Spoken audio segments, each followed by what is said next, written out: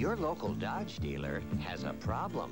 Ram Tough Dodge trucks are selling so fast, he can't wait till the end of the year for his end of the year clearance. So, he's having a before the end of the year clearance clearance on every Dodge truck in stock, from full-size Ram pickups to Ramchargers, from off-the-road 4x4s to small Ram 50 trucks. The before the end of the year clearance clearance.